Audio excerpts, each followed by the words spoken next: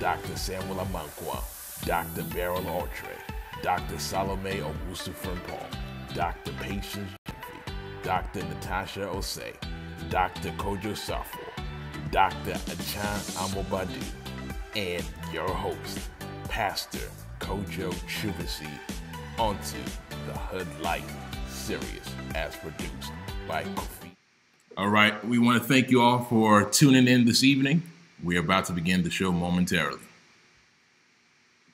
Ladies and gentlemen, get ready to meet the 2019 North American Ghanaian Adventist Doctoral Class. Welcome into the show, Dr. Kofi Twumasi, Abigail Nyantakyi, Dr. Melabi Amponsah, Dr. Samuel Kwarteng, Dr. Samuel Amankwah, Dr. Beryl Otchere, Dr. Salome Augusto Frimpong, Dr. Patience Gyamfi, Dr. Natasha Osei, Dr. Kojo Sarfo, Dr. Achan Amobadu, and your host, Pastor Kojo Twumasi, onto the Hood Life series as produced by Kofi and Kojo Twumasi. Ladies and gentlemen, get ready to meet the 2019 North American Ghanaian Adventist Doctoral Class. Welcome into the show, Dr. Kofi Twumasi, Abigail Nyantakyi, Dr. Melabi Amponsah, Dr. Samuel Kwarteng, Dr. Samuel Amankwah, Dr. Beryl Otchere, Dr. Salome Augusto Paul, Dr. Patience Gyamfi, Dr. Natasha Osei, Dr. Kojo Sarfo, Dr. Achan Amobadu, and your host, Pastor Kojo Twumasi, onto the Hood Life series as produced by Kofi and Kojo. All right, man, I am so excited. Welcome to the hood. Hood life, that is. Yes, yes, yes, y'all. After months and months and months of waiting for this highly anticipated program, the highly anticipated program is finally here. And I hope you can see me nice, live, and clear. If you're here at this moment, just kind of comment down in the YouTube section, comment down in the Facebook section, and let us know that you are around because we definitely want to make sure that we are interacting with you throughout the entire course of this program. Oh man, let me just uh, let me just pinch myself real quick. I just had to do that in order to really make sure that this day was real. And yes, indeed, this day is real. And so at this moment, I just want to kind of talk to you guys about how did hood life kind of come about. Well, let me tell you all how that kind of happened. Well, it was in the summertime, and while I was in the summertime, I was doing one of my favorite activities, which is uh, scrolling through Facebook. And as I was scrolling through Facebook, something kept occurring to me. Let me tell you what it was. What kept occurring to me is that, you know, on Saturday, I would check my Facebook and boom, I would see that one of the Ghanaian Adventists just graduated with their doctorate. I said, well, that's just one. Congrats to them. But then I'll check on Sunday, I was boom, another one of our Ghanaian Adventists just graduated. And weekend after weekend after weekend after weekend, I would keep on checking and I'll keep on seeing that some one another one of our Ghanaian Adventist individuals, young adults, have just graduated with their doctorate degree. And so, as all of this was taking place within my mind, my brother, Dr. Kofi Twumasi, came up to me and he was like, Kojo, Pastor Kojo, have you seen all the individuals who are graduating with their doctors? And so I said, Yeah, man, I've totally seen it. And this is what Kofi said. Kofi said, Yo, we have to celebrate it. I was like, Celebrate it? He's like, Yeah, man, we have to celebrate it. And at first, I was like, mm, Nah, I don't think we should celebrate it. I mean, people are going to think that we're being cocky. People might think that we're showboating until something occurred to me. It's almost as if something spoke to me. And this is what the words said. The words said, Kojo, don't worry about that. Don't worry about what people are going to think. You need to celebrate this. This is why. Ooh, if you're listening, don't miss this. It said you need to celebrate this. Watch this now, because what gets celebrated gets repeated. Mm. What gets celebrated gets repeated. This is why Hood Life is here. It's here so that current people can also repeat these same achievements and more. Hood Life is here so that future generations can repeat these achievements and more. Matter of fact, we could have celebrated by throwing on some Davido music and by having both from your favorite auntie. But we said no. If we're going to celebrate, let's celebrate in such a way where we can do a program that can create lifetime value for people. And so that's why Hood Life is here. But Hood Life is also here, y'all, as a way to say thank you. What, what do I mean? This is what I mean.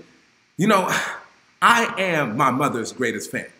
If you ever come to a time when I am preaching a sermon and my mother is in the audience, I don't begin my sermon without shouting out my mother. Why is my mother my greatest fan? This is why people look at my life and say, Whoa, Pastor Kojo, you're a success, you've done your thing.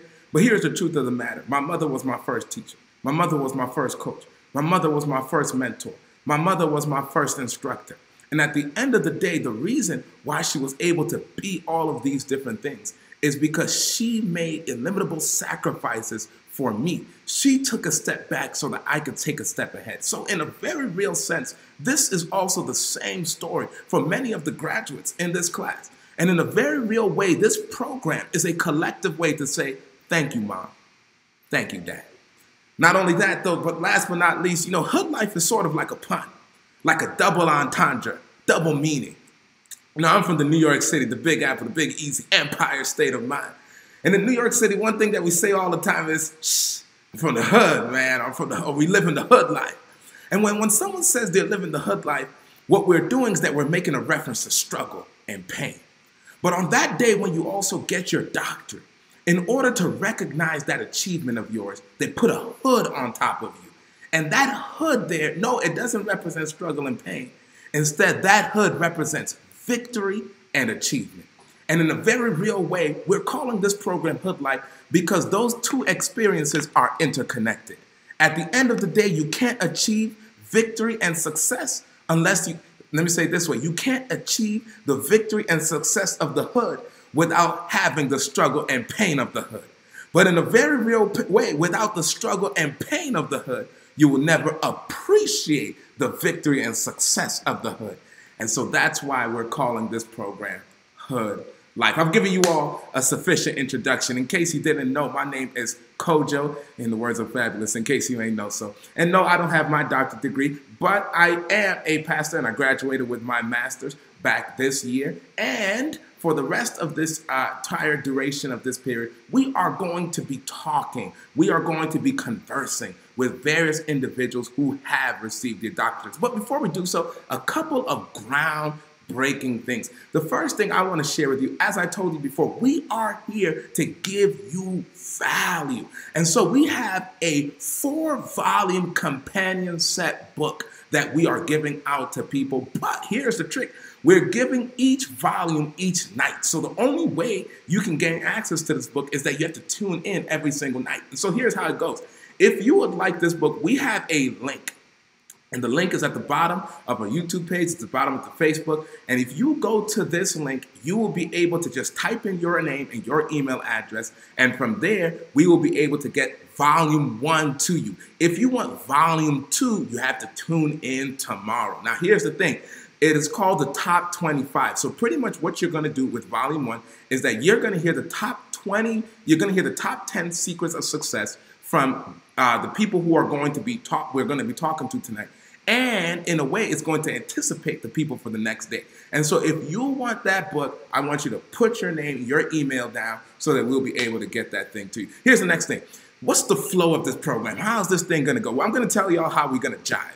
The way we're going to jive is that I am going to talk to our guests for a little bit. After that, we're going to open the lines so that you can call in. And when you call in, you will be able to also ask these people some questions as well. What is the number for the call in? Mark it down, mark it down. Here's the number 347 791 1406. And 347 791 1406. At this moment, we're going to take a short break. And after we take this short break, we'll be back with our guests. Ladies and gentlemen, get ready to meet the 2019 North American Ghanaian Adventist Doctoral Class. Welcome into the show, Dr. Kofi Twumasi, Abigail Nyantakyi, Dr. Melody Amponsah, Dr. Samuel Kwate, Dr. Samuel Amankwah, Dr. Beryl Otchere, Dr. Salome Augusto Frimpong, Dr. Patience Gyamfi, Dr. Natasha Osei, Dr. Kojo Sarfo, Dr. Achan Amobadu, and your host, Pastor Kojo Twumasi, onto the Hood Life series as produced by Kofi and Kojo Twumasi. Ladies and gentlemen, get ready to meet the 2019 North American Ghanaian Adventist Doctoral Class. Welcome into the show, Dr. Kofi Twumasi, Abigail Nyantakyi, Dr. Melody Amponsah, Dr. Samuel Kwate, Dr. Samuel Amankwah, Dr. Beryl Otchere, Dr. Salome Augusto Frimpong, Dr. Peyton. All right, everybody. All right, everybody, and we are back. I told you by the time I come back, I'm going to have my special guest with me. And so let me take this time and introduce these guests. The first guest that I want to introduce who has achieved that powerful, that awesome, that tremendous accomplishment of doctorate is this person. This person is Ghana made and Michigan raised. I grew up with this person as a child, and his basketball skills used to make the people go wild. Oh man, oh man. And now this individual is a doctor. He graduated from the Western New England College of Pharmacy and Health Sciences and now is enrolled in a fellowship program at the Rutgers University of Pharmaceutical Industry. This person right here is a writer. This person right here is a leader. And this person right here is now a husband. Please, you are welcome to the Hood Life Show. Dr. Dr. Dr. Samuel Kwarteng. Dr. Sam, thanks for being with for us. having. Man, it's tremendous. You know, I just came from your your wedding. You know what I'm saying? And Yeah. Dr. Sam, you had a thousand people. You know, at that wedding. I mean, how, how were you able to pull off a thousand people? Talk to me, man. I, I, I honestly, I don't know. I, it's, I got. We weren't expecting that many people to come. To be honest, But, you know, um, Dr. Sam, we, got double, we got double the amount that we expected. wow, um, that's crazy. So it was, it was crazy. Wow. You know, Dr. Yeah. Sam, people are, are, are trying to figure out why I'm not married. I'm like, man, you know, I don't know how I'm gonna do. I'm, I, you know, your your wedding gave me a foreshadowing of mine. Exactly. I don't know how I'm gonna do this. hey, Dr. Sam Kwarteng, tell me. You know, at any point in the wedding, did you whisper over to your wife and say, "Baby, we don't even know half of these people"? Huh? Be honest. You could be Oh, honest. oh yeah, oh yeah. I like during the reception when we walked in, we were like, "Whoa!" Like, where are all these people like coming from? And then like there were some people I'm like, mm, "This person is new. This person is different. I don't know who this is. I don't." But I'm sure like she knew who they were, or maybe like something like that. But I didn't. So Ah. It was just interesting seeing like a bunch of different faces that you know I wasn't really. Yeah, I, no, I totally hear that. I totally understand, man. Well, I mean, it's just part of the experience when you're popular in a famous land like Dr. Sam. But we're not here to talk about your marriage. We're actually here to talk about your doctoral journey. But before we start doing that, I have another person I also want to introduce as well. This person hails from the T dot, from the T dot. He's a proud patron of We the North. He's a proud patron of We the North. And this person's journey to their doctorate wasn't easy. At times, this individual found themselves in the wrong crowd. At times, this individual found themselves not necessarily on the right path, but at a certain point, he was able to get things together. He ended up going to St. Kitts, and in St. Kitts, he went to the University of Medicine and Health Sciences in 2019. In case you forgot, which is this year, he graduated with his doctorate. MD, to be clear. At this moment, I want to welcome to our program Dr. Samuel Amankwah. Double the Sams, double the trouble. All right, Dr. Samuel Amankwah. Man, thank you for being on. How's everything with you, man? Thank God, all is well. All is well. I'm glad to be here. Oh, man, we're glad to have you. And I'm super excited to hear your journey. And I know a lot of people are as, as well. I know a lot of people are as well. And so at this time, what we're going to do is that we're just going to dive right into it because time's already gone, and I know people are like, "Kojo, shut up. We want to hear Dr. Sam's uh, Dr. Sam Square. And so we're going to start doing some round of questioning, and I just want you guys to be able to talk. Let's feel free. Let's have a good conversation about these different things. You know, the first question that's on people's mind, and also that's on my mind as well, um, is the question of, you know, how. You know, the question of how. But what about how? Okay, let's talk about it. You know, I'm a pastor and I do a lot of counseling and coaching with people. And one thing I realize that people are experiencing is something we call purpose anxiety. So, pretty much, purpose anxiety is where you have challenging or nervous feelings about searching for your purpose or about how to live out your purpose. And so, my question to you all, and, and whether Dr. Sam Kwarteng or Dr. Sam Amankwah, whoever it is, uh, you can take the crack at it. You know, my question to you all is pretty much this. You know, how, how did you discover that you know, for Dr. Sam Kwarteng, being a pharmacist is what, you know, you were called to do. Or Dr. Samuel Amankwah, how did you discover that being an MD, being a doctor, is pretty much what you're called to do. Now, I understand that a career is not necessarily your purpose, but your career helps you live out your purpose. And so, with that being said, talk to us about that. How did you come to that sort of discovery? Any one of you could take a crack at this. Okay. Um, I guess I'll go first.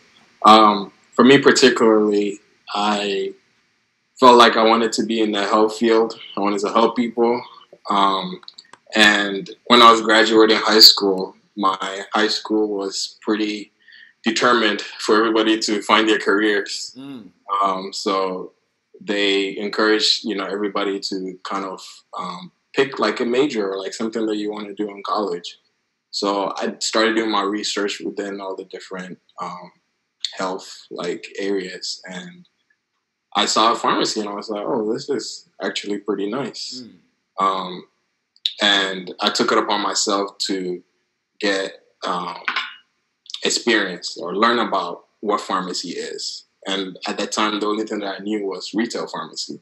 So I went and did an internship um, at a Rite Aid. Mm. And from then, I was like, oh man, I love this like profession. Like I want to dive right in with it. So it's kind of how it worked out for me. Man, you know, you, you mentioned how you mentioned how you uh, did your internship at a Rite Aid, and I know where you did it at. You know, this is Berrien Springs, Michigan you know, you had no other choice, man. That's the only no other the, choice. that's the only place they got, man. So tell me this, you know, tell me this. You you said that you know you did the pharmacy thing, and you said, "Whoa, this is nice." I mean, describe nice. What what did nice mean? I mean, did you do it, you know, and you felt like you came alive? Did you do it and you felt like you know your mind was blown? Like, what is nice, you know? And how did nice pretty much say this is what? Because you know, something could be nice Mm-hmm. Like for example, ice cream is nice, but you know that's not my life career. So you know, talk to me a little bit about that. Okay, so with um, with that, when I first um, went in like retail pharmacy, you get to deal a lot with patients. Um, you have people that you're working with. I always like the um, I like working with other people, like first of all. And as a retail pharmacist, that's what you do.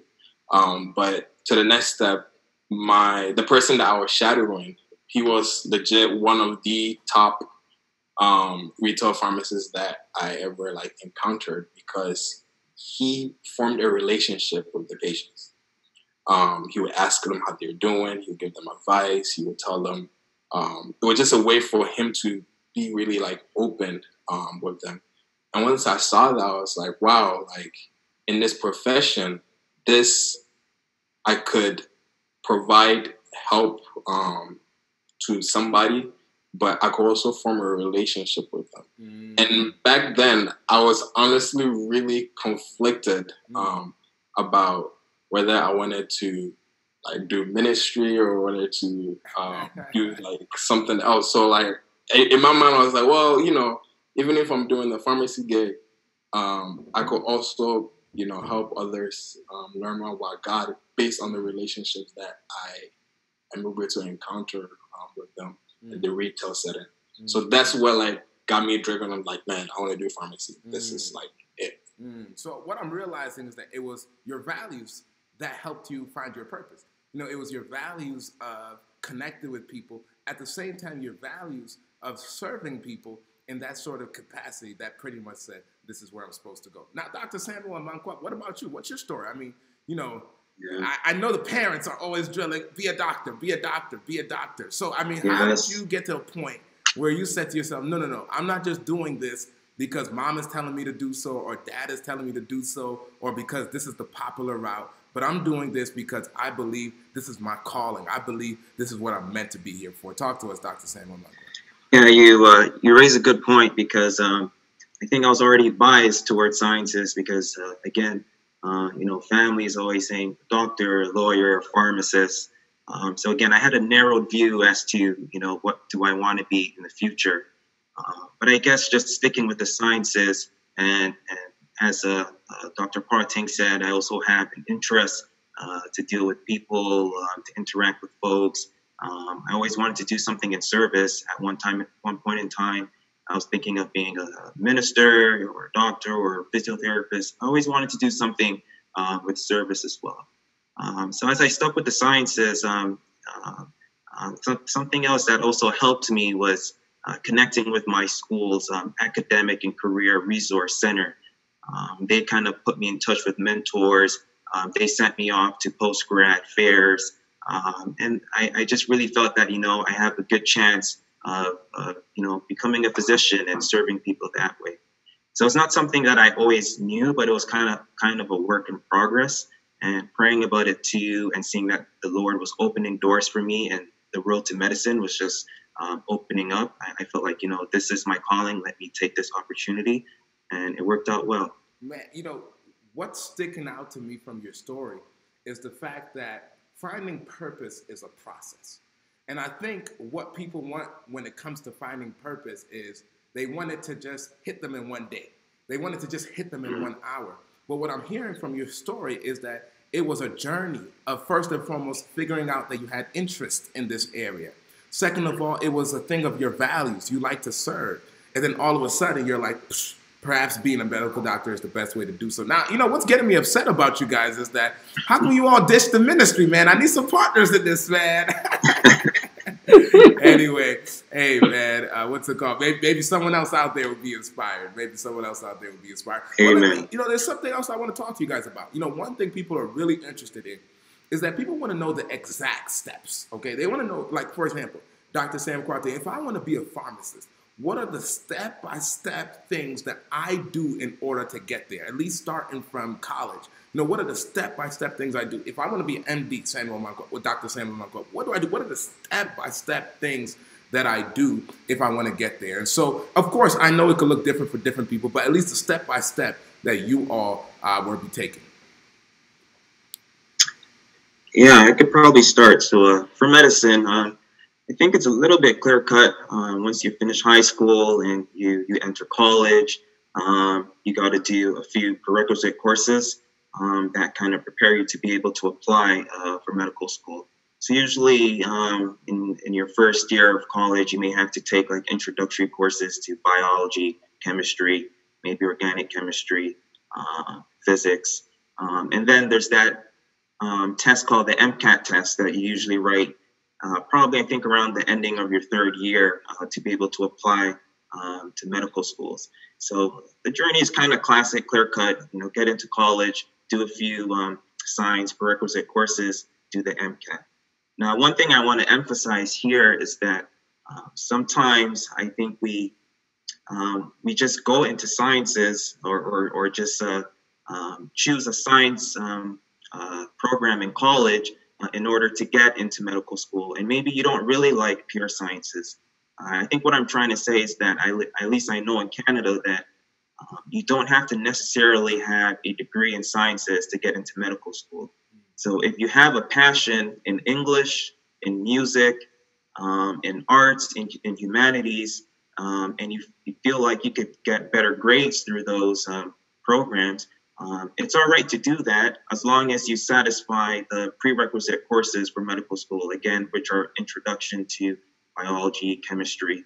Um, after you get those out of the way, um, you're free to do whatever um, degree you want to do. So that's something I just want to emphasize that if you do want to go to medical school, but maybe the pure sciences is not really um, something uh, you like or something that's you're not strong in, you can consider to do another program that you're strong in and probably have better results. Mm, now, that you know, you know, as you were talking about doing all them sciences, man, I remember when I was back at Oakland University, I had a lot of friends who were science majors, and Dr. Sam Monco, it looked like they had no life, man. Is that true? Do you have no life? yeah. Um, it's interesting, but I like I had a friend who uh, she was happy. She studied English and she got into medical school. Mm. I know someone else. I think they just they did music and they got into medical school. So mm. follow your passion, do well, and you could still enter medical school if that's your passion down the road. Mm, okay, excellent. And uh, I think what I'm picking up from that. Well, here's my question though, Dr. Sam. So, I mean, but let's say someone is passionate about English. When you get to medical school, you still have to do some science things, and so it's like, you know, how does a person work with that sort of transition? Like, I love English but I want to be a doctor. But I get in there and I have to take OCAM and all that kind of stuff. I mean, it's right. crazy. I mean, so what do you? I mean, what do you think? And, and that's a good question, and, and parents are probably thinking about that too. Um, but again, when I got into medical school, the sciences that I was learning there was much different from the pure sciences I was learning in college. Um, the biology, organic chemistry, physics. Uh, to be true with you, that wasn't uh, really relatable to what we were learning in medical school. And medical school is more clinical uh, and, and less more theoretical in terms of the pure sciences. Mm. So if you're still able to uh, learn how to study through whatever you study in college and build good habits, uh, I think that's what's most important. Uh, for, for medical school, just building the habits of being able to be disciplined. Mm. And again, you do have to do some prerequisite courses, as I said, intro to biochemistry and all that. Mm but yeah, again, you just need to have the right mindset um, to be able to, to do medicine. Anyone can do medicine, I think. Um, it's not typically hard. Um, it's just uh, learning how to apply it. Yeah. Man, that's a very helpful clarification over there. Thanks for that because that really helped me. Dr. Samuel Quarta, talk to us. I want to be a pharmacist. What are my step to steps? Yes. Um, I I think one of the first things that if you want to be a pharmacist that you should do is talk to a pharmacist. Mm. Um, at least find somebody that is a pharmacist, find out about what they do, um, and learn if if it's interesting enough for you to even pursue as a career or pursue that um, specific thing, and just like do your research about it. Um, but once you have settled in your mind that this is what you want to do, um, there are multiple tracks. Um, one of those tracks is to go to pharmacy school um, right side, right out of high school. So pharmacy typically is a six-year um, program. So after you graduate high school, after six years, you can become a doctor. Um, you don't have to necessarily do your bachelor's before even um, enrolling in it. And that's the second track where um, some may decide that, okay, um, I want to do my bachelor's, um, and then I'll figure out if I want to do pharmacy at that point afterwards, um, and then apply to pharmacy school. Mm. Um, so then, after you do four years of bachelor's, the actual pharmacy PharmD program um, would be additional four years um, that you will have to do. Um, so, like, there are those two tracks. If you don't decide to also um, like do the bachelor's, you could also do your prerequisites there are um, lots of pharmacy schools that um, don't require a bachelor's. So as long as you complete the prerequisites, um, there's also a Dr. Amankala is saying for pharmacy where it's called a PCAT. Um, so with the PCAT, um, you take it. Some schools require it. Other schools also don't require it. So it's all you know, trying to figure out where what path that you actually want to take, but there are numerous paths to go to become a pharmacist. Wow, I, I, never had any idea that I could take so many paths if I want to become a pharmacist. I mean, that was very helpful. And you know, it would be awesome if people want to go this route. They can have continual conversations about with you as to which path will be most effective about them. Not, but here's the truth of the matter: no journey in life is ever smooth. And you know, Dr. Sam Amankwah, I know that you know, um, during your time in medical school, you had some particular challenges. Um, you know, I usually say that at the end of the day, life has holes. And, you know, it's not only holes on the road that's potholes, but sometimes we also experience holes in our heart. Um, and those holes in our heart usually take place when something important or someone important um, is taken away. And throughout your medical journey, you had a hole. And you had a hole because someone was taken away from you. In fact, it was your father. Um, and your father passed away. I want you to talk to us a little bit about, you know, that entire experience. You know, your father dying uh, throughout, you know, your medical school journey. I mean, how did that impact you? Did you want to quit? Did you want to give up? Can you talk to us a little bit about that? Yeah, Pastor Kojo. So yeah, my father passed away in um, just before my fourth year of uh, medical school, and it was actually just before my last board exams uh, for medical school. Uh, probably a few weeks uh, just before my board exams he passed. But I'll just make the long story short and just say that um, you know we all have our challenges on our academic journeys, but I can confidently say that God is bigger than our challenges. Mm. Um, looking back now at that experience, uh, I can see that, you know, the Lord allowed me to go through that. Uh, the, where I'm working now, in the past few months, I've been working in the uh, intensive care unit. And every week I had at least one patient who was on the brink of dying. And I had to spend time in family meetings, uh, speaking with the families, talking about goals of care. And each time I was always able to use my experience with my father in that situation. And it always it always helped to console um, the family members a little bit more because they knew that the physician understood what they were going through. And so um, it was tough in the moment, but support from family, support from the church um, helped. Uh, but again, uh, everyone has challenges. Some are financial challenges, some are illnesses, but I can safely say God is bigger than our challenges, and He just works things all well. Man, you know, my first sermon that I ever preached, I was about, actually, I'm lying, I was like five years old.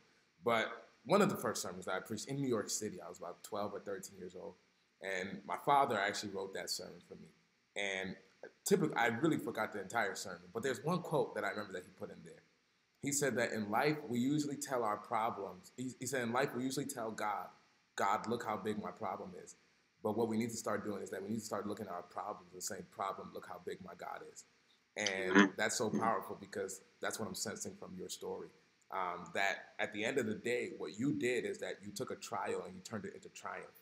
You took an opportunity where you could have been a victim and you turned it into victory. And you took a, a, a you know a place where you could have used it as a setback and used it as a setup. And so, in a very real way, you're using this experience to, in fact, enhance your caregiving as a doctor. And I think that's special. Um, Dr. Sam, you know, uh, Kwarteng here. Um, you know, many people don't know this, but you went through your entire matriculation as an international student. Um, I don't think people understand the staggering implications of being an international student and the unique challenges that come along with that. So, can you talk to us a little bit about that? Yeah. Um, so, like as you said, as soon as I graduated high school, um, I became an international student. Um, and with that, it's just there's like tuition. Um, there's an international, you know, there's in state, there's out of state, and then there's international oh, student um, tuition that you have to pay. Um, so that was like throughout. I think that was my biggest challenge is just trying to um, like figure out how to um, pay for just a lot of different things. Um, I had to take classes that I didn't need to um, necessarily take. Uh, they require you to take a certain number of classes um, and just like do so many different things that it just makes your whole journey just a little bit harder than um, everybody else. And I and I also remember you kind of telling me that one of the challenges is that even a lot of schools were not accepting, you know, international students. At a certain point, did you just say, "I'm going to throw in the towel and just pick something else because I mean, this is just too much of an uphill battle"? Yeah, so I actually didn't even know that when I started applying to pharmacy school that like I, I read the requirements and they'll be like they don't accept international students. I'm like, like this sucks. um, and then like you're trying to find like schools that are like um, close by, not too far away from like family and things of that sort. Um, so that also made it a little bit harder. So I, I, what I did was I applied to as many schools as I can. Okay. Um, with the prayer and hopes that you know I get into like one of them um, because I'm limited um, just by mere fact that I was an international student. But that didn't deter me at all from um, applying and moving forward with it. Yeah, you know that's what the you know funny enough that's what even the Bible says. Just cast your net wide. Sometimes cast your bread on many waters. You don't know which one will return to you. Let me say this. Let me ask you one last question. You know, while you were in school, I mean, I mean, it wasn't a secret. You know, we all, you know, you you were you were you were in that relationship, that amazing relationship, which has now turned into a marriage. You know, uh, you know, we could probably say we, we don't introduce you as a friend with benefits. We don't introduce you as a, as, as boyfriend and girlfriend. We introduce you as husband and wife. And so, I mean, how was that? You know, having having to having the proposal in your mind, you know, because you know, surprise, surprising a woman is hard work. They don't understand that, man. They don't understand the, the, the gymnastics you got to go through. I mean, how did you go through all of that while at the same time having this big marriage coming up in your mind, this big wedding coming up in your mind, and preparing for going for counseling, all that kind of stuff? Um, to be honest, that was one of you know the most challenging things that I had to like do. Um, I remember like going through like school, my focus was a lot was I want to become a pharmacist. So because of that, I, you know, I didn't allow myself to be in like relationships. Um, I often like said no or like whatever. Um, to relationships because I was like, no, I can't like juggle the two, school and relationship is just mm-hmm. not gonna work. Um, but then, if right when I the year that I started pharmacy school, my wife, um, her and I, we started talking. I just prayed about it that Lord, you know, this this you know my goal is to become a pharmacist, and um, I'm just trusting that if you want this to happen, then let it happen um, for me. So that's just where, you know, I put in my um, hope and trust. And my wife was very, very understanding. Um, she better have been. To just very understanding to the, you know, I can't talk right now. I need yeah. to study. I, you know, I don't have time. Yeah. You know, all those things that you know other relationships like hey ladies like, take notes take notes take notes. you know they had to like do. I i i wasn't like my i was putting in my time but she wasn't requiring a lot out of me. So it really you know helped me to be able to stay focused at school. Um, and to be honest i do not think that me being who i am i would have been able to complete the program if she wasn't you know, I, I was in a relationship with her at the time. Wow. So wow. I give her a lot of credit wow. to her. Wow, that's that that's amazing. In, in the very way she was wind she was wind under those wings, and so that's powerful. Shout outs to you, uh, Simonetta, wherever you. Simonetta, I, I, used to say poking your butt, but now it's Simonetta Kwarteng, wherever you are. uh, man, well, at this moment, I want to open up the lines. Um, you know, I still got some more questions for these guys, but you all may have some questions as well. Uh, our phone number that we're using at this moment is 347 791 406. You can call in if you have questions for Dr. Sam Kwarteng and Dr. Sam Amankwah. We only have 20 minutes left. I feel like this was so short, man. I'm really having a good time, and I want to keep talking some more. Um, so you can call that number. We'll get you in.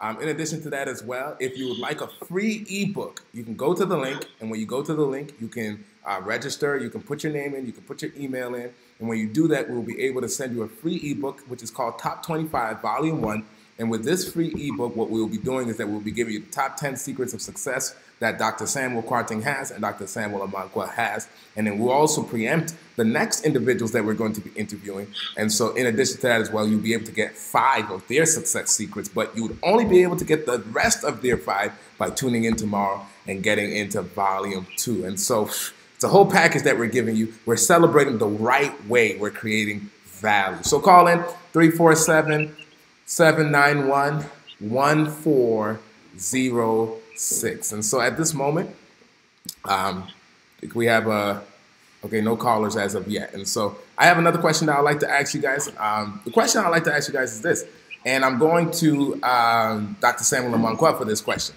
And so the question here is this the question is Ghanaians have an endemic disease, okay? The disease that we have is, I call it the disease of the pro. Not professional, but disease of the procrastination. That's what we got. And I always say this the only time that Ghanaians don't procrastinate is when they're planning their wedding or they're planning their funeral. I mean, it's crazy. I mean, I know a friend of mine who always procrastinates, but when it comes to their wedding, they start planning it two years in advance. But we have that disease. But Dr. Sam Amankwah, in the book, you tell us that one of your secrets to being successful is that you made sure that you were always one step ahead. You made sure you never procrastinated. What was your secret, man? Because low key, I still got to learn it a little bit. and me too. We all still got, still got to work on it. Uh, but yeah, in terms of studying, and uh, that's something one of my seniors had told me that always try to be at least one to two classes ahead of the, the class. Um, so pre-reading, and, uh, uh, that's that's one big thing that has always helped me. Sometimes it's not very realistic, but if, if you start out doing that, it, it helps you in the long run uh, to uh, to do better. I think. And then another thing I think that's crucial is that um, for people who are interested in you know professional lines of work, um, just knowing the timelines and deadlines uh, that are ahead of you. For example, um, if you want to go to medical school and uh, you want to write your MCAT, just knowing when you need to write it, um, know when schools are accepting applications, when they're not accepting applications. So uh, just being timeline ready is very important because sometimes you miss out on a timeline and it sets you back like one year, six months. And so um, just being a little bit more proactive rather than reactive um, will really help to save time and just helps in the long run. Dude, I mean, that's a big consequence. Your procrastination can set you back a year and a half. That's tremendous. And you know, if I had that kind of incentive, I'll make sure I'm getting things done ahead of time. But you know, in a very real way, as I'm thinking about it, that's how I should think about all life. That if I procrastinate at the front end, I'm going to experience the pain on the back end. And so at the end of the day, you know, and the reason why we procrastinate many times is that we don't want to experience certain pain immediately. So we end up just transferring it to the back end. But at the end of the day, no matter what, you can't avoid the pain. And so I always tell people life is not a matter of avoiding pain, it's actually a matter of picking your pains. Are you going to pick it in the beginning or are you going to pick it at the end? And so, really good point that you're making over there. Now, Dr. Sam, you put a controversial statement in the book. You know, you talked about one of your top 10 secrets to success is keep your plans off of social media. Now, I, am not going to say I took personal gripe with that, but you know, I'm the type of guy where I'm a very big social media guy. I mean, you already know I have a huge presence on social media, and I'm always telling people what I'm doing, what I've done. Uh, and so I'm interested to hear your perspective because maybe I can I can make a little shift in myself. I can make a little shift in my life.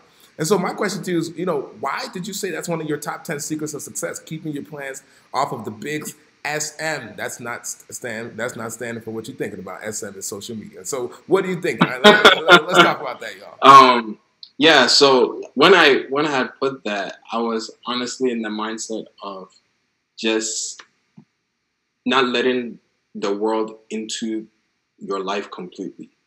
I mean, you're off. You're at school. You're you know studying. Sometimes people let social media distract them. Mm. They put certain things on there that will cause them to um, just fall, um, basically, from what they're trying to do. Um, so that was mainly like where I was hitting at. Um, and then somebody always told me that, you know, in life we always have enemies of progress. Um, people that want to see you fail, people that um, are just not looking for your best interest. Um, and just even like sometimes when you do something and the struggles or the failures that um, that you go through, people like see all of that, and I'm just in the mindset of you know, finish, do what you're doing, and then if you want to let the world know, okay, this is what I have done. Okay, so, so, so your main thing is kind of like the distraction. Don't get distracted while being on social media. So is your kind of thing like you know distraction in terms of it takes away your time, or distraction in terms of you see haters, or distraction in terms of you get jealous of other people? You know, be a little bit more specific over there. Yeah, um, it's it was just more of like it taking your time and also it being um, just a hindrance um, to what you're trying to achieve. When it comes to like education, um, that was just my like view on it. That you know, especially like for me, I just felt like I didn't need to let the whole world know that I was trying to do pharmacy. Mm. Uh, posting like oh like every day this this this and that mm. um, but like once i was done hey this is what i've like completed mm. so you know that that was like my mindset with it excellent excellent i i think i'm i think i'm understanding it a little bit better and you know the thing that i love about all this advice that we gave in the top 10 secrets is i think of the top 10 secrets um, like this you know we start off the book by saying i hate one-way streets and why do I hate one way streets? I'm from New York City. One way streets always get you lost, one way streets always get you confused and twisted. And in the same sort of way, um, the book starts off by saying that in the same way, we hate one way advice. You know, because what we realize is that advice is customized for different people. And so, in the same sort of way, there may be some people, like what you just mentioned, who get very distracted by social media. It takes up all their time, takes up all their energy, and they need to stay off. And then there's some those who can get energy from it. And so I really appreciate that you're providing the caution. And I think as I'm listening to you, the deeper thing is know who you are. And based on who you are, make those adjustments accordingly. And so, man, that's tremendous. Well, at this time, I just want to continue to open up the lines. If you would like to call and ask these two illustrious doctors a question, a comment, or concern, please give us a call 347 791 1406 in addition to that as well, I mean, it could be about anything, whether the challenges they face, mistakes that they made, um, whether you have a question about the process, whatever the case may be, go ahead give a call. In addition to that as well, if you would like a top 25 book, you can also fill out the link, put in your name, put in your email. We'll be able to get volume one over to you. Finally, last but not least as well, if you would also like to be a person who, while in the Hoodlyfe, you also can have continual conversations with us. Stick towards the end because we have a special gift that we're going to be sharing with you. We got about 10 minutes left within the Hoodlyfe. My question to you all is this. Um, hmm, what advice would you no let me, let me not let me not go to that I'll make that your closing statement. Let me ask you all this question. Now that you have this doctorate degree, I mean, what's next in life? I mean, what is it now? I mean, is it just get the doctorate, get your job, you know, working nine to five, make a lot of money, donate to Pastor Kojo's church, and then like that's it? Or is it like, you know, is there some bigger plans that you have? And so, any of you all can take a crack at it. Talk to me. Um, I I start off with me. I I think my my big thing is just introducing people to Christ. I think that's one of my like job on this like planet um, to do. When um, Christ was leaving, he left us a message to go therefore and make disciples of all nations, baptizing them in the name of the Father, Son, and the Holy Spirit, and teaching them all the things that he has given us. So with me, it's just not, yeah, I've gotten um, my PharmD, so I'm just gonna uh, make money, but I think this is really when life begins for me um, in terms of okay, I've done this. Now my life is like moving forward to be do, doing God's work. So that's where I'm going now. Man, I, I know, the crazy thing is that a lot of people are not thinking that way. And as a minister of the gospel, that makes me happy that you're trying to use your profession as the vehicle um, through which to to share Jesus. How about you, Dr. Samuel Michael? What what is you? What's what's next? You know what I'm saying? Is it is it now? You know, I always call it the American Ghanaian dream. You know, you got your you got your degree, you get your job, now get your wife and get your family, and life pretty much stops there. Is is that pretty much you know? Are you trying to live that dream, or do you have more to it? It's like you said originally or initially before that. Uh, it's still a process, so the dream is still ongoing. Uh, to be honest, uh, I'm still not exactly sure where I want to take my career to the next step. But I, I am connecting with my seniors, people who are um, already a few years um, ahead of me. Um, the fields that I'm interested in, probably um, specializing in, I'm trying to connect with people there as well and networking. So I'm not exactly sure yet, but I'm still trying to take steps to get a better understanding. And I really appreciate what Dr. Kwarteng said too. Uh, I'm asking myself all the time, how am I going to be useful now uh, for the Lord? And so uh, these are things I'm still wrestling with, but I know the Lord will show the way. Man, I, I totally believe it. Hey, man, we're about to conclude this uh, show. Uh, but before we conclude the show, I just want to put two more questions out there. The first question uh, is pretty much, you know, something I've been thinking about, you know, and maybe something that some other people are thinking about as well. You know, did you make any mistakes along your path? You know, you know, it's one thing to have challenges, but it's also another thing to make mistakes. You know, did you fail a class? Uh, did you, uh, you know what I'm saying? Did I mean, did you make a, did you miss a deadline? Did you did you make a mistake? And how did you bounce back if you made that kind of mistake? Yeah, I'll, I'll chime in quickly on that.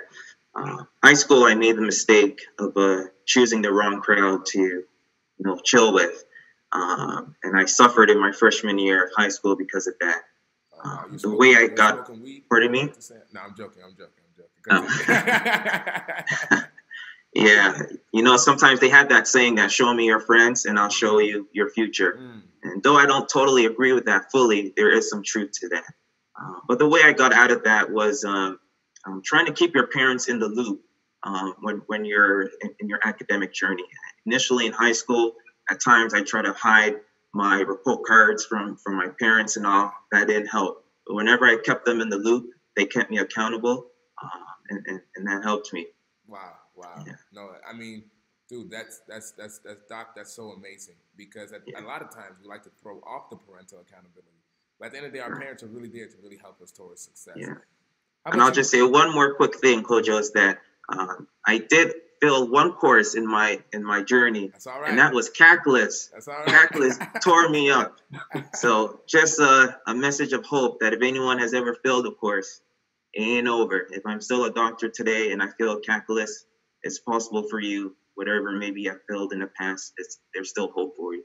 And you know what the crazy thing is, Doctor Sam, as you are operating, you know what type of you know doctor are you going? Are you going to try to specialize or anything of that nature? What what what area are you going in? Yeah, so right now I'm doing internal medicine. Okay, uh, that's basically adult medicine. Uh, but I have a strong interest in endocrinology and diabetes and um, hormone metabolism. And you know the funny part is that as you're helping someone with diabetes or hormone uh, metabolism, they're not going to be asking you uh, what you get on calculus what was your score? Uh, can I see your report card? All they're going to know is that now you're highly qualified in order to help them out. And so that's a really big note of hope. How about you, Dr. Sam Kwarteng? I mean, were you all perfect? I mean, goody two shoes, or there were some mistakes along the way, man? No, I, I made a lot of mistakes. Um, just coming up, like how Dr. Amankwah was saying, failing exams. I remember my first exam in pharmacy school, got a 56 on it. My lord. Um, so like you know I, I remember i was like oh my goodness like wow this is real like you know but um it was always the mindset of not not giving up um just pushing forward one thing that we always used to say in pharmacy school is c's make degrees mm. um, so like at the end of the day like the the goal is to get through it you get through, you pass your um, license exam, you become a pharmacist, you provide um, help to people. It's all like a learning process. Like it, you don't become a doctor in like one day. Um, it's a continuous progress. So um, I think that was my mindset moving forward. And let me tell you, C's get degrees and you'll see your way out. That's pretty much the bottom line. Man, you know something, guys. You know, the, you know what I love from all of this is at the end of the day, um, no one's journey is perfect. And the beautiful thing about it is that it's not about perfection, it's about striving. And at the end of the day, if you strive, striving will cover a multitude of mistakes. Guys, at this moment, for those who are viewing and those who are listening, these are the powerful and amazing stories of our graduates right here, of our doctors right here, Dr. Samuel Kwarteng and Dr. Samuel Amankwah. The truth of the matter is that they have a wealth of experience. They have a wealth of wisdom to share with each and every person who wants to get into their respective fields as well.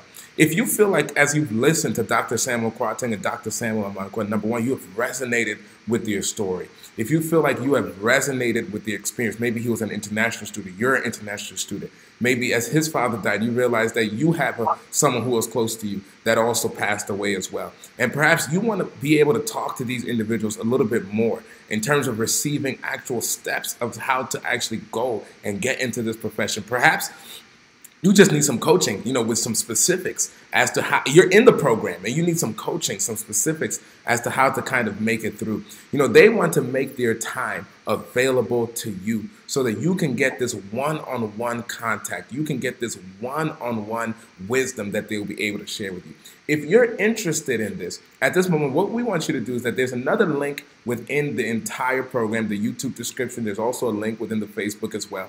You can click on that link, and what you can actually do is that you can also sign up for a coaching experience with Dr. Samuel Kwarteng or Dr. Samuel Amankwah. You can sign up for a coaching experience. And pretty much when you sign up for this coaching experience, the truth of the matter is at the end of the day, we don't value what we don't invest in. And so, yes, this coaching experience will ask you for a certain type of monetary investment. But that monetary investment lets you lets us know and lets them know that you are serious about improving. You're serious about development. And so and at the end of the day, their time is valuable and they want to make sure that they use it well. And so, yes, it will ask you for an investment, but the beautiful thing is that with the investment, you're going to get back so much more value. And so you can click that link, and when you click that link, you'll be able to sign up for this coaching experience. Okay, at this moment, we are about to close, but before we close, what I would like to ask at this moment to both of you in your closing statements is pretty much this what advice would you give to someone who is entering into your field? Or you can also give enough, what advice would you give to someone who is in your field and they feel like giving up at this moment? And so uh, Dr. Samuel Kwarteng will start with you and Dr. Samuel Amankwah will finish with you. Sure. So my advice um, that I would give is to learn about pharmacy as much as possible. Um, one thing that I, th- I think we always say networking, but nobody takes networking seriously. Like honestly, network, network, network. Pharmacy is such a small community. Like it will surprise you the amount of people that know each other. Um, so just network as much as you can, um, and don't give up. One thing that you should always remember is if you want to be a pharmacist, a doctor, a nurse practitioner, um, a lawyer, like don't let money become an issue for you. Don't let that deter you from accomplishing your goals, uh, believing in yourself, getting your dreams. Um, for those that are in it now, continue to push, um, continue to move forward. Um, just remember that God didn't put you there for you to fail. That was one thing that I always kept at the back of my mind that God did not put me in the pharmacy program, made me go through all those things just to get kicked out of pharmacy school. I don't think that was his plan. So just keep that at the back of your mind that no matter what, God will help you to finish. So just continue to push forward, trust in God, and everything will work out for you. You know, I love there's a song that says, He didn't bring me this far to leave me. I believe that. Dr. Samuel, what, what are you? Yeah, I would like to speak to uh, those who are at the college level uh, who are interested in going to medical school. Um, again, I would uh, advise that um, get your money's worth for what you're paying for in college in terms of your tuition. Um, again, uh, if I was to go back to college, I probably wouldn't major in what I majored in, which was neuroscience, a pure science. Um, I probably would do something that was a little bit more practical, a little bit more professional, maybe nursing. And why do I say that? Because um, had I not gone into medical school, um, I still would have had a professional degree I would have been able to join a workforce, um, and all that money I paid uh, for my tuition would not be in vain. So again, if you have medical school in your mindset, um, I would recommend that whatever you choose for a college degree, maybe think about doing a professional college degree because once you do that, it will still help you to be able to apply for medical school, and you will get the more of your money's worth in terms of tuition. Man, I totally, I totally, I totally resonate with that. And you know what I love about you is that you gave so much specifics in that, and this is why people need to actually sign up with a coaching program with you, so that they will be able to get even more and even more of that. Well, all our viewers who have tuned in, all our viewers who will tune in, We thank you so, so much for coming to our first segment of the Hoodlyfe. I can't complete Hoodlyfe without one more thing, though. There's a person who has literally been the mastermind and the orchestrator behind the entire Hoodlyfe program. This man, I classify him as the man, the myth, and the legend. He came up with the concept. Not only did he come up with the concept, but he has promoted the concept vigorously. And he's actually just joined me right now in the studio as well. And so at this moment, I want to introduce the man, the myth, the legend, Dr. Kofi Twumasi. Come join, come join, man. Yeah, for sure, man. It's working behind the scenes for tonight's program. Uh, but he'll be joining us for subsequent ones. For sure, for sure, for sure. But I think honestly, we had really great feedback from those that tuned in. And those who didn't get a chance to tune in, make sure you come on tomorrow night. Tomorrow night again at 8 p.m. We will be bustling, hustling, and doing this series once again. And not only that, man, the coaching program is really something that we're putting out there for you all. Like I said, all these people reached the pinnacles of their careers because of certain habits that they had to adopt in their whole lives. And the whole thing is this with this series and what you just learned from them, when you buy this coaching program, which we put up at a really discounted price, you can actually gain some of their secrets to success. And then the next thing that you see right below the video, you will see the link to the free book that Kojo and I featuring the Hoodlyfe cast that we put together. Now, this is a book that also provides gems, wisdoms, and just some really good advice to really, you know, that time in the night when you need some motivation. This book should help you out. The time when you need some motivation just to go out there and gain a hold of your dream. This book is to help you out. So we definitely want you to make sure that you get a copy of this free book. After tonight, volume one will not be available. And we're about to shut it down. So even if you try to replay this video, you won't be able to gain access to the book. So make sure you get it on because we about to close out in a few seconds here. But obviously to Dr. Sam and Dr. Amankwah, uh, I want to thank you all for doing this. I actually went to elementary school with Sam, so man, so funny how things come in the full circle, man. We graduate the same year, so that's a pleasure. And obviously the other Dr. Sam Amankwah, you know, I met your mother um, back in Canada when I was there in August, man. She was just so excited. She told me the good stuff you're doing out in Maryland, man. And I've known you for a while too. So just keep on pushing, keep on grinding. And I know you all are going to make great impacts in community. Um, and so I want to say this: uh, any shout outs, any shout outs that sure, you two want to sure. give, any shout outs. Sure, don't, do not don't forget the key ones. yeah, because the, one of the key Pastor ones Co- is waiting for you at home. All right, right, right. Pastor, Pastor Kojo was saying his mom is his biggest cheerleader, and for me too, my mother, Miss Cecilia, has been my cheerleader, my first mentor, instructor, teacher. And so, just a shout out to her, all the sacrifice she poured in. God bless you. Thank you so much. And uh, I know we're happy right now. So just my shout out to my mom for just being there for me. Hey, Mama, I hope you're listening. You better be listening, Mama. That, Mama, you better be listening. That was a beautiful one. Uh, Dr. Samuel Kwarteng, what about you? Yeah, I would like to shout out my wife because if I don't, I'll hear about it tonight. thank you so much for everything that you've done and what you continue to do. I want to shout out my parents, Pastor and Mrs. Um, Kwarteng. Thank you guys and my sister, husband, my niece and nephew, Kwame and Jason, um, Kwame, Kwame and Akos, um, and just everybody that supported me throughout my journey. Um, you all know who you are. Thank you so much. And thank you guys too for um, setting this up. We really appreciate it. Sure. Thank you for being with us.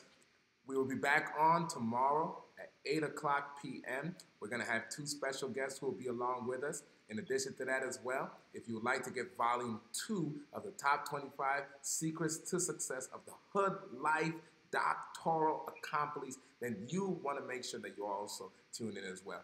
Until then, take care and God bless you. All right, take care. Have a good night.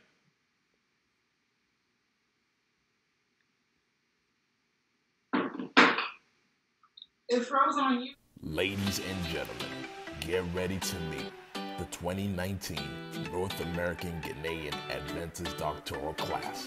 Welcome into the show, Dr. Kofi Twumasi, Abigail Nyantakyi, Dr. Melabi Amponsah, Dr. Samuel Kwarteng, Dr. Samuel Amankwah, Dr. Beryl Otchere, Dr. Salome Augusto Paul, Dr. Patience Gyamfi, Dr. Natasha Osei, Dr. Kojo Sarfo, Dr. Achan Amobadu, and your host, Pastor Kojo Twumasi, onto the Hood Life series as produced by Kofi and Kojo Twumasi.